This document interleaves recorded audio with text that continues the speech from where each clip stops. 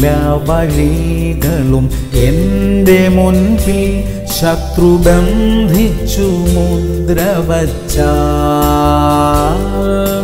സ്വർഗ കവാടം തുറക്കും എനിക്കായി സൈന്യം വരും നിശ്ചയം.